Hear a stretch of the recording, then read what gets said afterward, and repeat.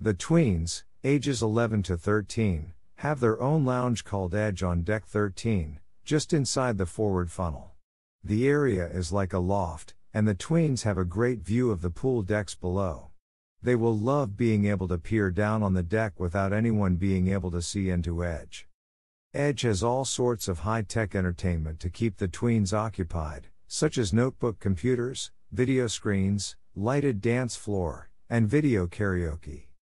The AquaDuck, the Disney Dreams water coaster, winds through the forward funnel, and tweens in edge of silhouetted views of the riders through three portholes.